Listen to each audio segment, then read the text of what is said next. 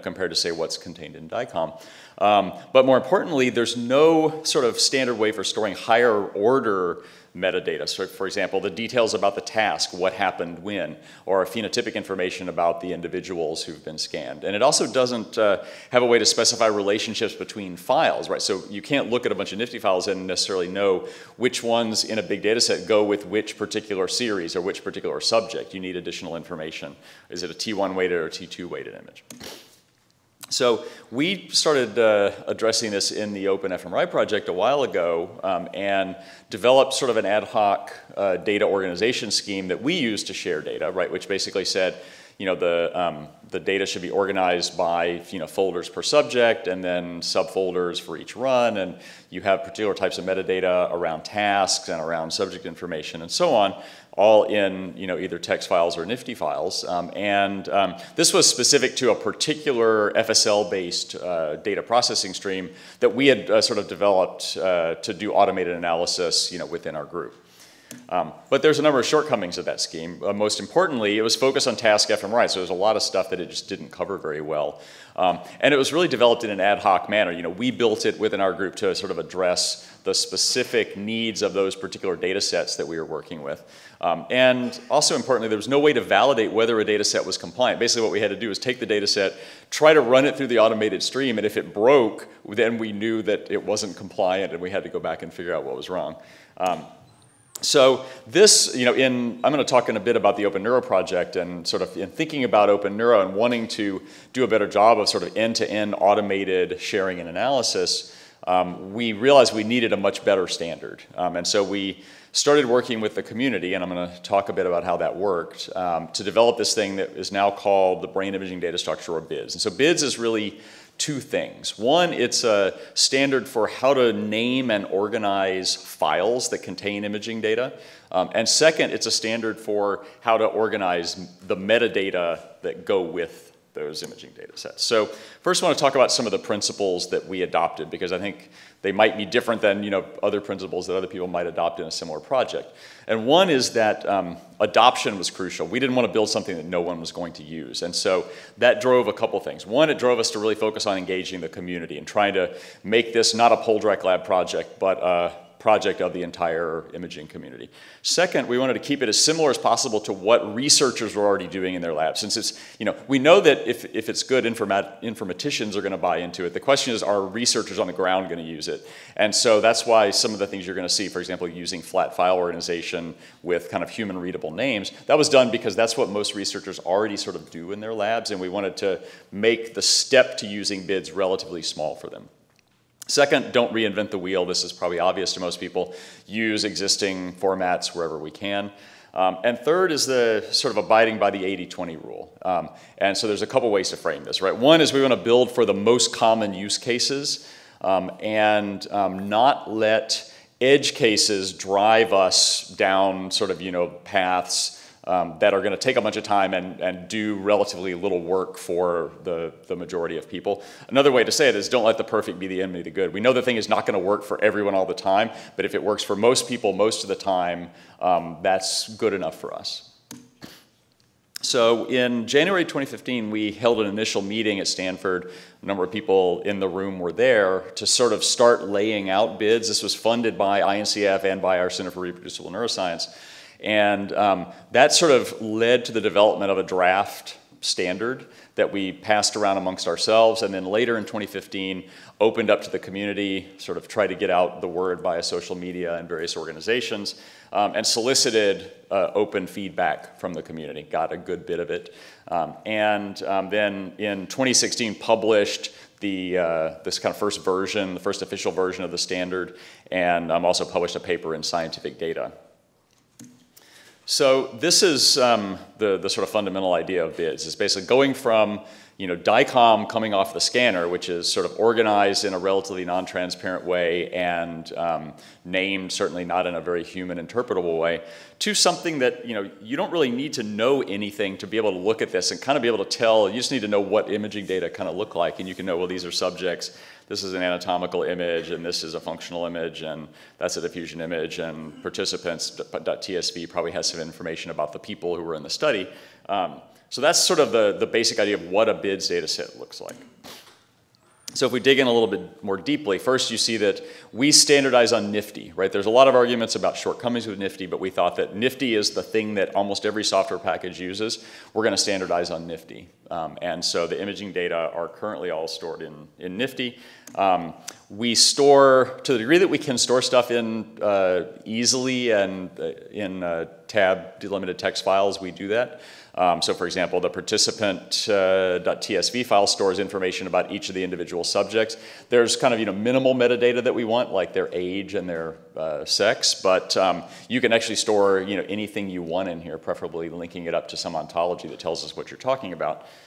Um, and then, you know, for some types of more dense metadata, we store them using JSON. Um, so for example, uh, the metadata around the NIfTI files that we would get via the conversion from DICOM, we store those in, um, in, a, uh, in a JSON file. Um, that's associated with each of the individual files. Now I should mention that there's sort of an inheritance principle here such that if, if it's the same for all of the images, you can put a version of the file higher up that'll sort of be inherited by everything below it.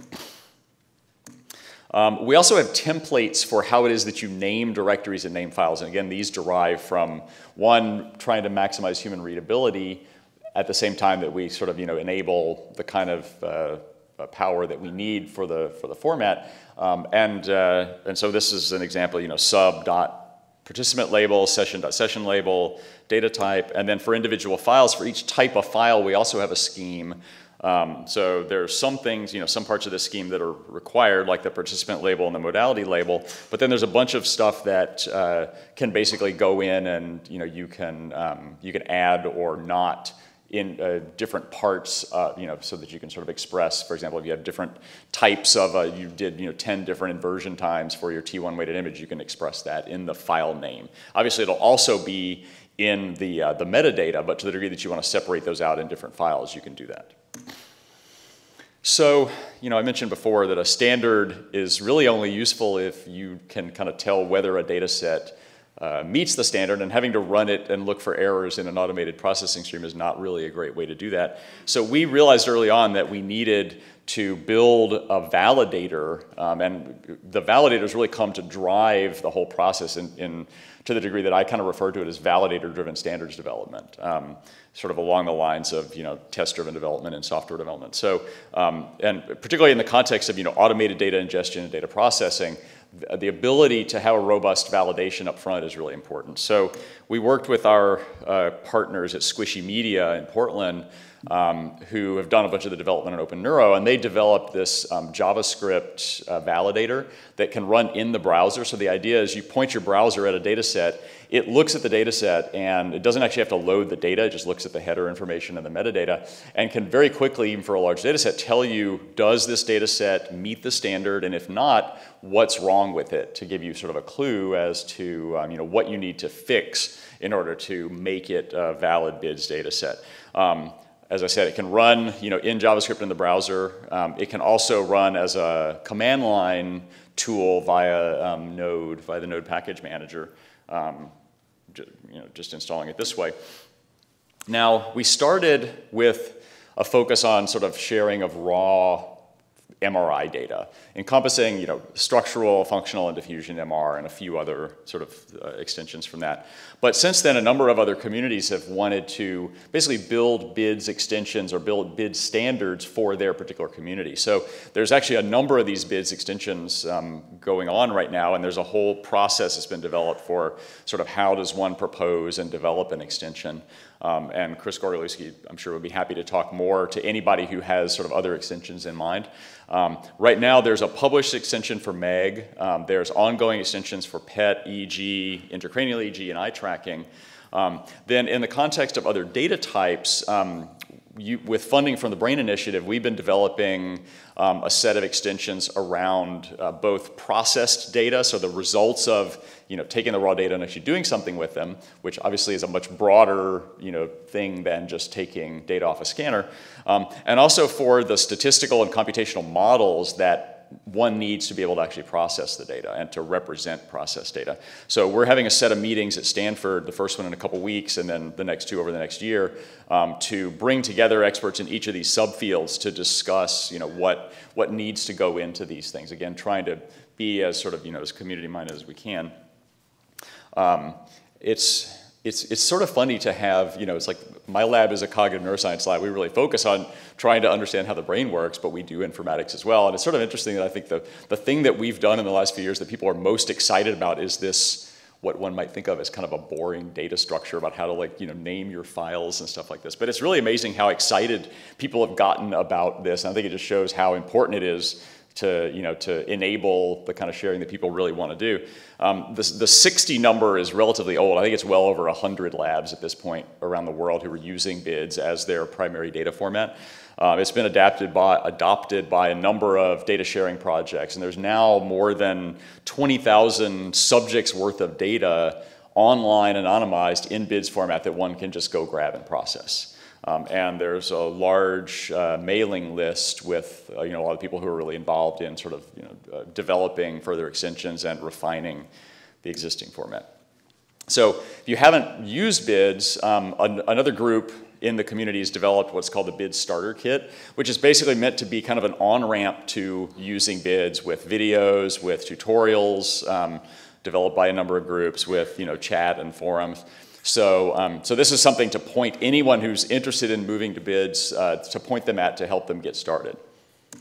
So I, I, like to think of you know, BIDS as a standard, but what we're really trying to develop is an ecosystem around that standard. Because the standard on its own isn't very useful um, until people can work with it and do things with it. So on the one hand, we need to, ways to get data you know, in and out of the standard. Um, so we need like converters and databases. And then we need stuff to, that can sort of use the standard to actually do useful things. So I want to talk about both of those. So there's a, now a number of converters that can allow one to both get data into BIDS. Um, a notable one would be uh, HeuDiConv, um, and, uh, but there's a, a, bunch of other tools. Um, and then also to get data out of BIDS. So for example, if you need to get it into ISATAB or into um, you know, the, uh, the uh, NIH data archive uh, formats, you can, you can do that. Um, in addition, a number of the, the databases are now supporting uh, export to BIDS. Most recently, Flywheel just added that as, as a gear in, in their toolbox. Um, so it's becoming increasingly easy for researchers to get their data um, you know, straight from the database into BIDS format. And the reformatting of the data is certainly the hardest part of using BIDS. Once your data are in BIDS, then everything's easy. Um, so what's a BIDS app? So when we were thinking about how to incentivize usage of, of BIDS, we, um, we wanted to, you know, think about what, why, why might somebody use BIDS, you know, other than just liking to take medicine and, you know, doing, doing, you know, sort of doing standards compliant stuff.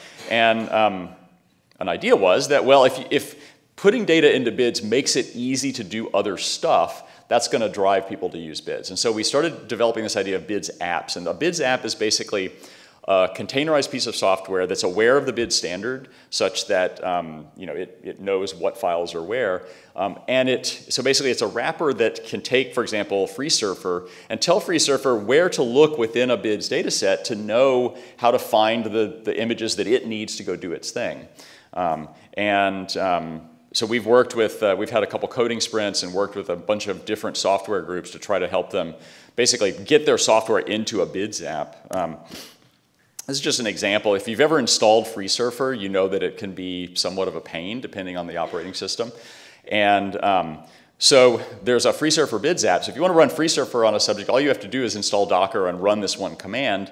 And um, it, you know, we care a lot about reproducibility. One of the side effects of this is, you know, people know exactly what version of FreeSurfer was used to run their soft, their analysis. And if you're running Docker, then that sort of, you know, abstracts away a lot of the potential differences between um, different platforms that we know exist. Um, and so it helps, you know, ensure computational reproducibility from that standpoint. Um, now, you know, we, in general, most of what we do has sort of some degree of potential parallelization.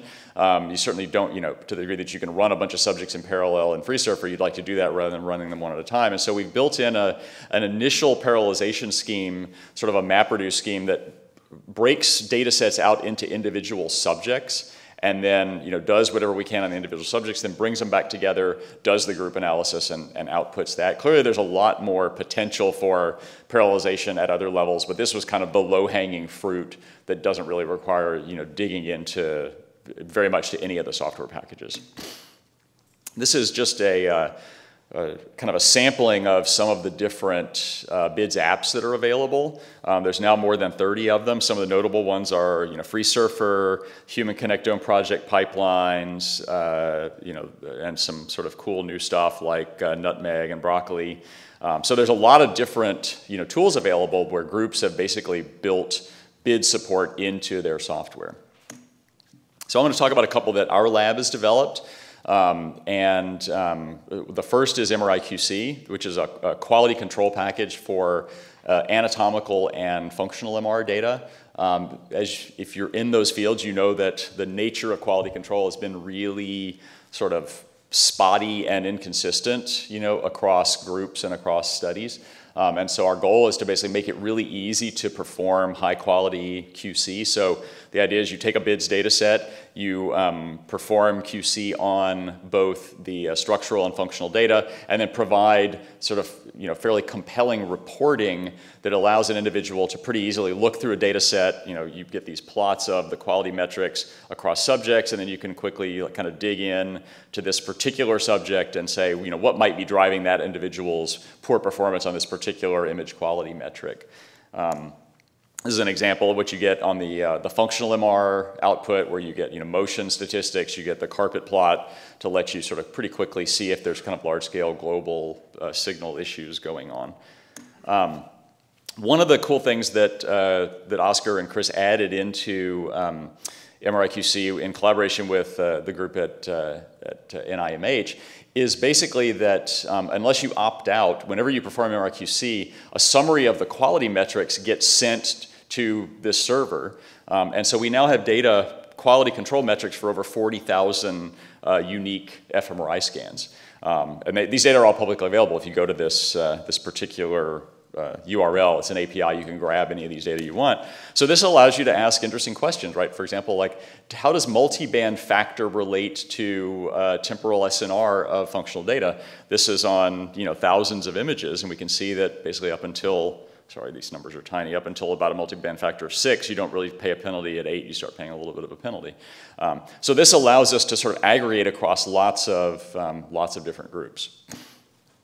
Another uh, BIDS app that we built is fMRI Prep, and this was built with the explicit goal of basically being able to take any fMRI data set you throw at us and be able to do the best possible pre-processing on it depending on you know, what particular data are in that data set, be it something from 15 years ago or be it you know, Human Connectome project quality data. Um, and so I'm, I'm not going to go into the details of what fMRI Prep does. This is also developed by Oscar Esteban, um, Chris Markiewicz, and Chris Gorgolewski in our group, um, along with a bunch of collaborators. Um, there's a paper now um, up on bioRxiv that, uh, that you can go dig into if you want to see the details. Um, but one, you know, one thing to mention is something that we've struggled with in developing these sort of tools is, you know, we worry a lot about giving people really powerful black boxes, right? Basically saying, here, put your data into this thing and it's going to give you out pre-processed data, um, and you may not actually understand everything that was done with those data. And that's something that we worry about a lot. And so we've tried to, that, you know, I think that the answer is not to not give out powerful software. The answer is to try to incentivize people and, and push people, nudge people to do the right thing, right? And in this case, the right thing is sort of knowing where to look to make sure things actually work. So we term this a glass box philosophy rather than a black box philosophy. So that means writing documentation that helps actually educate people to know what the software is doing, um, and providing reports that help them both visualize and verify that the assumptions are met, um, and then also guiding them in how they disseminate the results. So, um, so this is an example of some of the documentation that walks through, you know, how does EPI to T1 weighted registration work, shows the Nipype workflow, and also provides some details about, you know, what's actually being done to try to help people understand what are we actually doing to the data. Um, you get reports back for each individual scan, basically saying, hey, this, you know, we did this distortion correction, here's how it worked, right? You can look at the images and, and visualize how it should have worked, and we have examples online of what it should look like. Um, and finally, we provide kind of boilerplate text that says, okay, here's how you should report what you've done, and this allows people to report their results in a way that's compliant with standards like COBIDAS, you know, providing a sufficient amount of detail. So, you know, one, uh, one of the things that we've wanted to do is to be able to process data all the way from raw up through pre-processing out to statistical analysis, right? And that requires that we be able to fit linear models for most of what we do.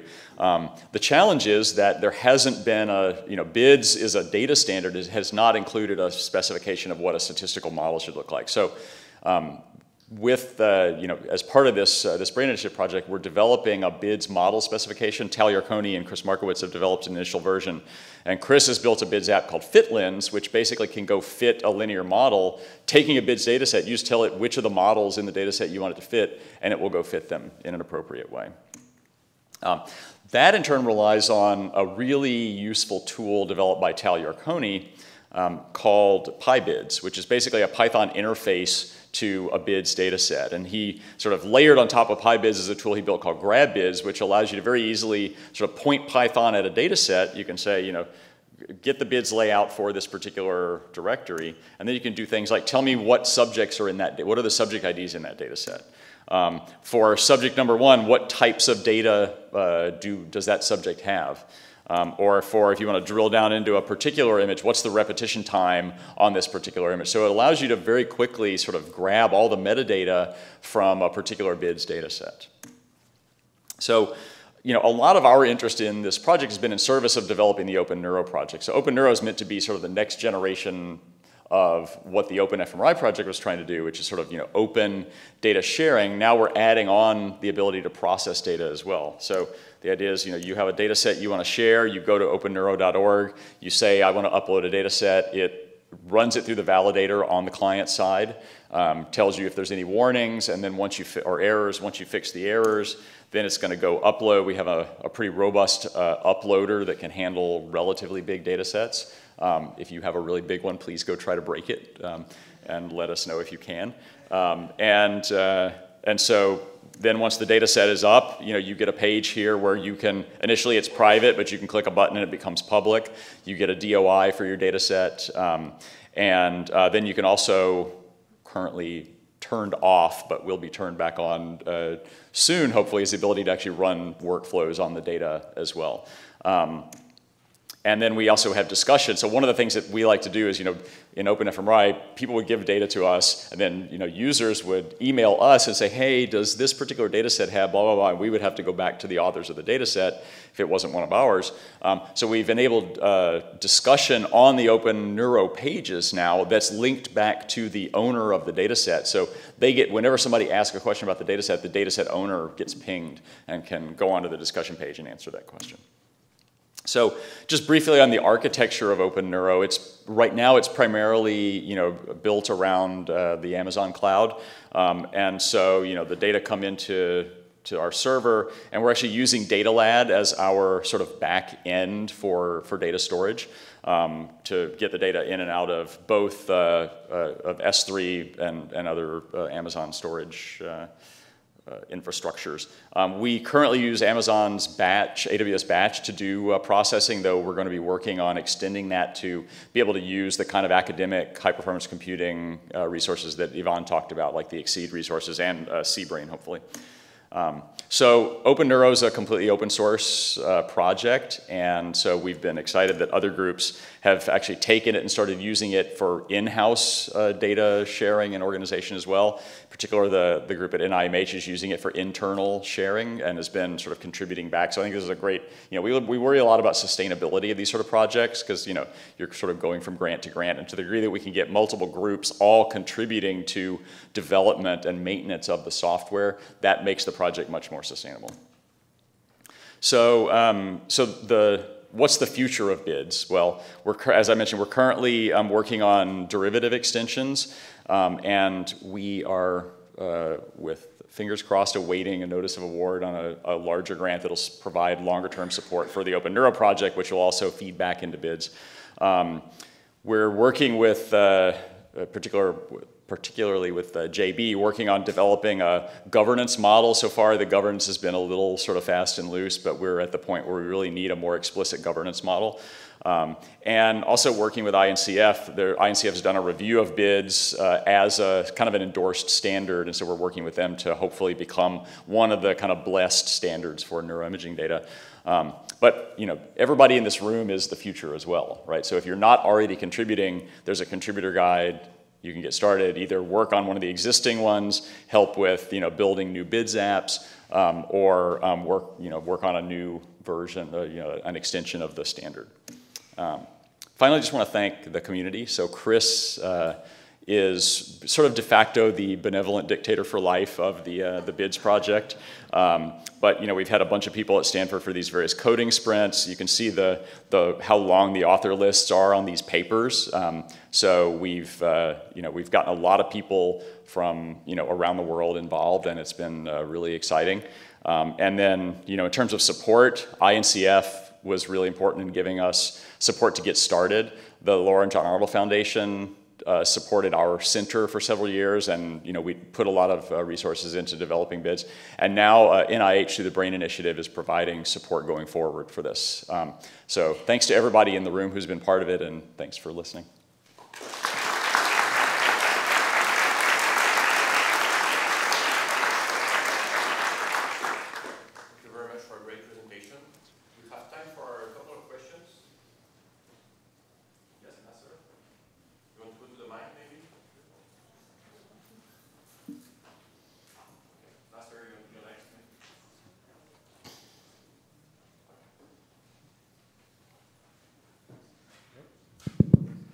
Thank you for the presentation. Um, I'd like to bring it a bit full circle to your interests. Uh, you're talking a lot about the data structuring and infrastructure, but uh, as a cognitive neuroscientist, what goes on in the brain when something doesn't fit and or does fit, and how does that? How can we use that knowledge to promote the uptake and adoption of these technologies? Interest. Sorry, I, I guess I'm not exactly clear what what you're asking their effort is to make everything uh, standardized, uniform, uh, uh, aligned in some way. And when things are out of alignment, what goes in the brain, what happens in the brain such that this doesn't fit, this is weird. This oh, right, yeah, so that would be that would be prediction error, right, or uh, surprisal, yes, yeah. which we understand very well. Um, no, I think that's, you know, th the question of how you drive adoption, I think is, is a good one, and in part we focused on trying to, you know, make it clear what, obviously some people like standards because it makes them sleep well at night. Um, they like orderly little boxes, right? Um, some people don't really care about the orderly boxes, but if I can show them, hey, look, you can run FreeSurfer really easily, or you can get access to hyperalignment or Mindboggle or all these other cool tools, um, that's the kind of thing that I think for the people who don't care about the tidy little boxes can still pull them in. So I think ultimately we have to think about, you know, there's different types of people in the world and we have to be able to try to pull in all of them. And just a quick follow-up, in, in the 80-20 principle that you applied, uh, what was in, unique about the sets that you decided to exclude? Um, that's an interesting question. Um, I, you know, I don't, I don't actually remember details of particular things that we excluded. It was really, um, yeah, that's, uh, I'll, I'll talk with Chris afterwards and we'll try to come up with examples because I don't actually remember any. Yeah, that's a good point. Hi, Russ. Great talk. Um, and it's great to see how far this has come just in the last year or so.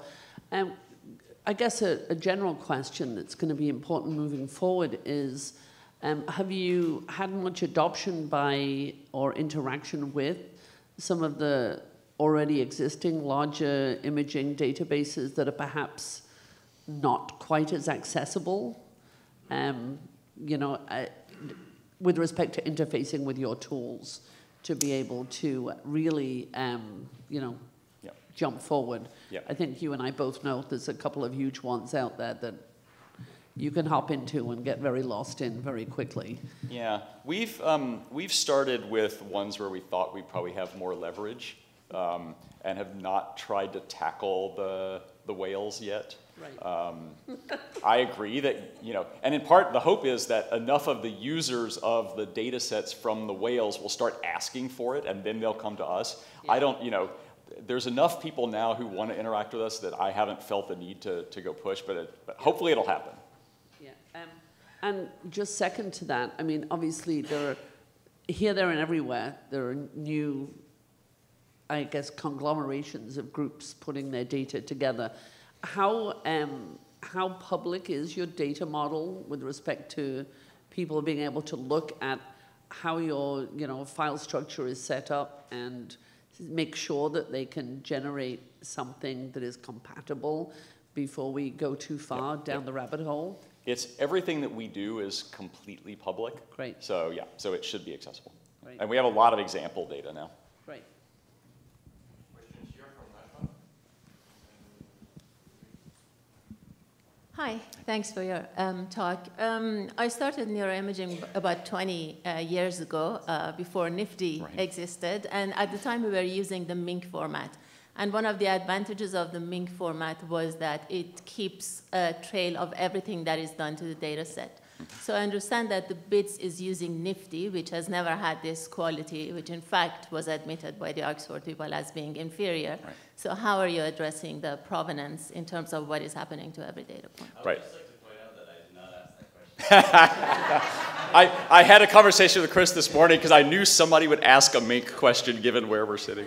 Um, yeah, no, I, I think we all agree that, that NIfTI has shortcomings, and that's, you know, we've had to build a lot on top of that. Now, part of what I would say is, you know, so far BIDS has been focused exclusively on raw data, right? So this becomes sort of less of an issue for raw data. Once you start processing the data, then the provenance becomes a much bigger issue, and that's an issue we're tackling in the context of the BIDS derivatives project. We're trying to figure out how do you represent data that have been processed. Um, our model, I think, is, is going to rely on the same kind of metadata structures that we've used, primarily probably JSON for that, rather than trying to use a different imaging format. And the, you know, to be honest, the, the primary reason that we went with NIfTI rather than some other format like MINC is simply that every package pretty much handles NIfTI, right? We wanted something that's going to work for almost everybody, and um, so uh, yeah, so that's what drove that decision. But I, I agree that it's that we have to build on top of it in order to address the provenance issues. So maybe NIfTI can adopt some of the strategies that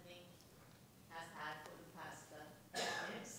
or just realize that or, or sort of decide that you know NIF, that the image is not necessarily the place where that stuff has where the provenance has to be stored right that you can have sidecars that can carry that and then that sort of that also opens you up a bit right because then you're not limited by a file format depending on how that file format is built right So why don't we take the last question? Maybe the next speaker could come and say that. Okay. Or you want Uh, yeah, if you don't mind. you first and then you. Okay. Thanks. Uh, that was a great talk. Um, I, so I completely agree that for the majority of labs to incentivize them to actually use the format, you need to build tools that help them do what they want to do. Um, and that's why I think that the BIDS apps are really exciting. Um, so my question is, um, what have you found to be key in helping people build those apps and specifically guiding them to build apps that are useful not only for their own research, but for the larger neuroscience community? Yeah, um, so we've, I guess there's a couple things here. We've had a couple of coding sprints at Stanford that were really focused on helping people learn how to build BIDS apps. There's a number, and there's sort of, you know, there's some, some resources on the BIDS apps GitHub with like an example, you know, wrapper and, you know, and every, again, everything there's open source, so one can also look at some of the other existing ones. Um, and we've, I guess, you know, the, the way to address your question is that we've, okay. I'll just um, so to, to address the, the issue of, you know, how do you get it to just not be people's in-house software, in part, people who have in-house software in general aren't going to really be incentivized to come build a BIDS app. Um, and so it hasn't really been an issue, but we've also sort of, you know, we've gone out of our way to reach out to groups who we know have a large, uh, you know, user base because we saw those as the kind of the most important ones to help bring into the BIDS apps ecosystem. Take a final last question. Mm-hmm. Okay. Thank you for a great talk. So, can you hear me? Okay. So my question is about the pre-processing steps because I feel that one of the most confusing things in dealing with any data is uh, the pre-processing. So what are the factors which are decision makers for best pre-processing steps? Um, I mean, that's a, you know, I can, so the standard itself is sort of agnostic to what, to, you know, to what is best, right? It's really about how do you describe what was done. Um, you know, we've built in fMRIPrep, we made decisions about what we think is best, and some of those are data driven, some of them are uh, stylistic, I guess you might say. Um, but, uh, but I don't, you know, I think it, it still remains a, um, it largely remains kind of a cultural and social issue about how one pre-processes their data. It's, you know, what software is being used in the lab you're in. Um, I think I would like to see, so in Oscar Esteban's fMRI pre- prep paper, which is now on bioRxiv, he did some sort of statistical comparisons of different workflows, and I would like to see more of that because I think ultimately we should be making these decisions based on data, not on lore or on, you know, what software the postdoc happens to be using in the lab. So